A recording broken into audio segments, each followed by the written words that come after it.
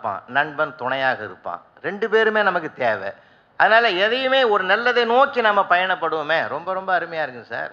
ஒரு திருடம் கூட வீட்டுக்குள்ளே பூந்து கட்டிலில் படுத்துங்கிறவன் காலாண்ட போய் தலையாண்ட போய் தேடுறான். அப்படி இப்படி தேடும்போது அவன் எழுந்துட்டான்.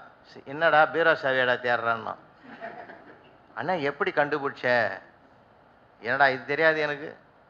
சரி சரி தொழிலுக்கு புதுசாக நீ சர்வீஸ் உண்டாண்ணா இல்லை இல்லை இன்றைக்கி தானே இந்த ஆரம்பித்தேன் அந்த வேலையாண்ணா அதான் நான் பார்த்தேன் இல்லைன்னா ஒரு ஆம்பளை கிட்ட வந்து தேடுவியாடா சாவிய. பைத்தியக்காரா அதை பட்டுங்கிற அதை படுத்துங்கிறாளே அவள் காலுங்கழு போட்டுக்கிற தலகாணிங்க தாண்டா இருக்குது. அதை எடுக்க நான் மூணு நாளாக பட்டப்பாடு எனக்கு தான் தெரியும். தயவு செஞ்சு சொல்கிறேன் கொஞ்சம் அமைதியாக அதை எடு அவசரப்படாது. எது வந்தாலும் நான் விட்டு பார்த்துங்கிறேன் நீ கவலைப்படாது மொல்லமாக எடுத்துறேன் நான். எடுத்து அந்த பீரோவை திற.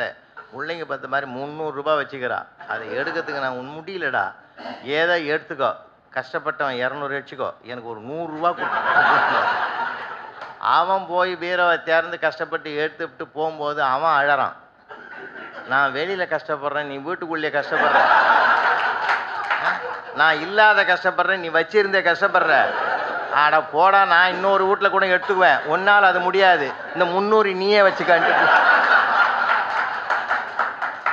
ஆ எப்படின்னா ஒரு ஆம்பளை கஷ்டம் இன்னொரு ஆம்பளை தாண்டா. சரி. வாழ்க்கையில் சார்